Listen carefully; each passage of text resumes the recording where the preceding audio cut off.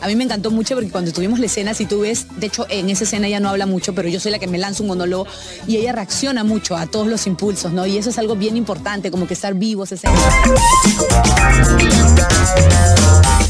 Ay, Dios mío, chicos, por favor, solo, solo quiero recordar lo bueno que he vivido. Y la verdad es que sí se parecen un poquito. Tiene que ver cómo la Teresita le a Estefanía. Ya, mejor vaya. Ay, Dios mío. Y bueno, vamos a ver la escena de... Hola, Teresa, ¿verdad? Ay, Richard me ha hablado un montón de ti. Me moría por conocerte. Yo soy Estefanía. Junior, you forgot your encyclopedia. No te preocupes, yo se lo entrego. Mira tú, bilingüe bamba. Escúchame bien claro. Tú a mí no vas a impresionar con tus ojitos claros que parecen dos luceros, con tu cinturita de avispa y con tu elegancia. A mí no me vas a impresionar. Tú no me vas a quitar a mi Richard, porque mi Richard es mío. Mi Richard Junior es mío y solo mío. Tú eres una más del montón que Richard está usando para perder el tiempo. Solamente te quería decir que tu hijo es un amor. Bueno, finish, the end de esta conversación. Junior, tenías razón. La Estefanía es muy bonita, es muy linda, es muy regia. Es más, yo casi, casi soy su fan. Quiero preguntarle a Tere qué tal ha recibido la noticia de que esta mujer, Estefanía, entre pues a la vida de tu pequeño hijo. Ha venido además a querer marcar territorios, está loca. Yo ya le he dicho, ya. ¿Qué, qué le pasa?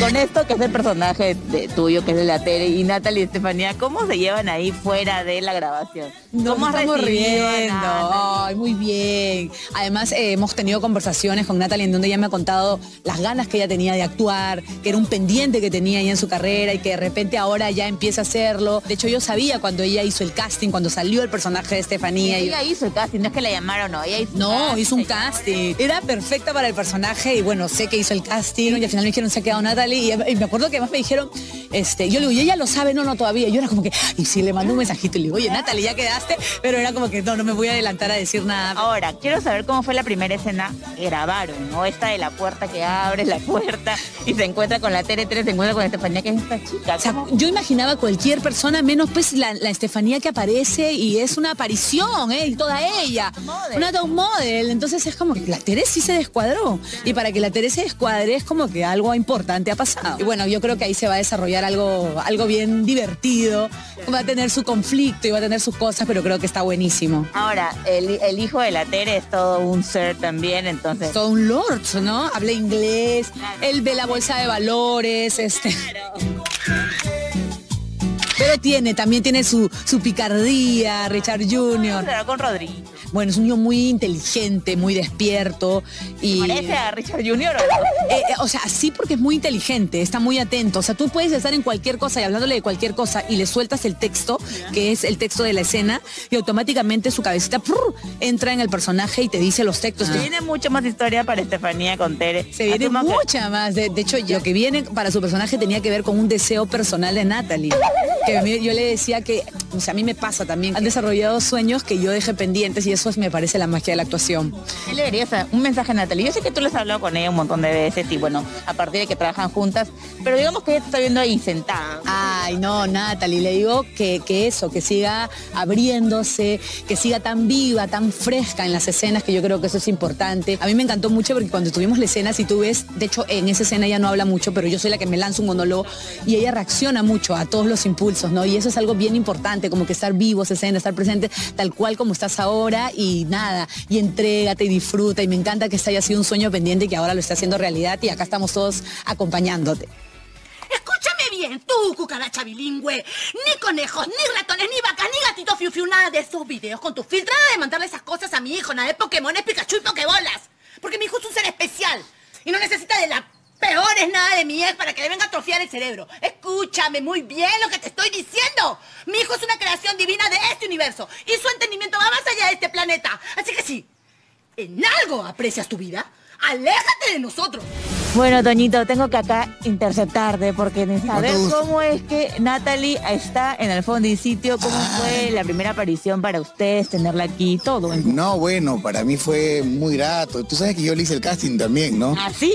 Claro. pormenores. En el casting lo hizo, de verdad que lo hizo con una naturalidad.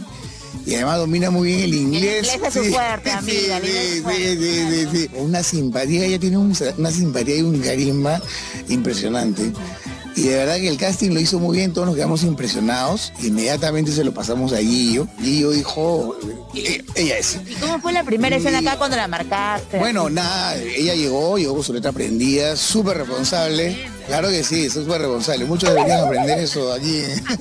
Una chiquita para algunos. No voy a decir, que- no voy a decir quién es este, pero Eric Helera, no, pero por ahí. Entró la dinámica del toque, no hubo ningún problema, ni de furcio, ni de repetición, ni de nada, entendió las indicaciones al toque. La escena quedó, eh, eh, sí, quedó en una, solamente repetimos porque había que hacerla con otro plan, plan. plano, que exacto, nada más, ¿no? Pero creo que si se dedicara y si se sigue cultivando, estudiando, claro, buenísimo, tiene una carrera por delante impresionante. Esta última escena que hemos visto con la Tere, Estefanía, que se están medio peleando, que la quieren asustar un poco. Pobrecita, yo creo que sí se asustó de verdad porque la otra le pega un grito y luego que le, le- se- poco está- desbordante. Se desborda, nosotros estamos en plena, en plena escena y la otra le pega un grito y, y la Natalie se atosa el techo. Yo voy a trapear el piso con tu cabello. Y te vas a arrepentir de haber nacido. Además, yo no vengo sola, porque si bien mi mamá está en el cielo junto al ángel Gabriel, yo aquí tengo a doña Francesca, que es mi hada madrina.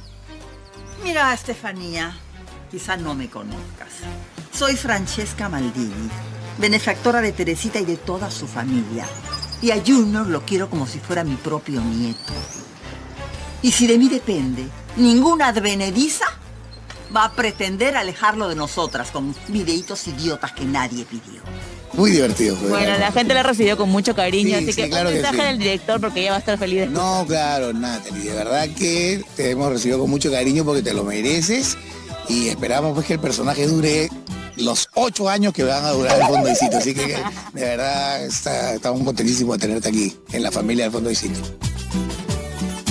Ah, o sea que este personaje de verdad va a traer su consecuencia. Yo creo porque no se va a quedar tranquila. Ay, la- de verdad que Estefanía está un poco asustada de todo lo que le dice la Teresita. De verdad, que qué, qué recibimiento es ese? Pero han hablado muy bien a, a la gente de producción, le ha encantado tu participación, Magdiel. Mira que estás compartiendo. Bueno, les voy a contar que cuando me llamaron para hacer el casting de Estefanía, estaba un poquito nerviosa, la verdad. Pero yo siento que todo llega cuando tiene que llegar. Yo me he ido preparando, haciendo muchos talleres, todo en silencio, obviamente. Y, y yo no soy de comentar mucho de que si me preparo o no, pero sí me gusta siempre estar preparada para lo que se viene. eso es ¿no? cierto, yo lo avalo Bastante. totalmente porque ella siempre ha sido a talleres, a clases. Porque yo estaba en un taller con ella. Claro, ustedes han coincidido justo en talleres de teatro para que la gente sepa que ellos también se están preparando. No lo están mostrando todo el día, pero lo tienen ahí porque esas cosas quedan para uno. Oye, es súper importante preparar.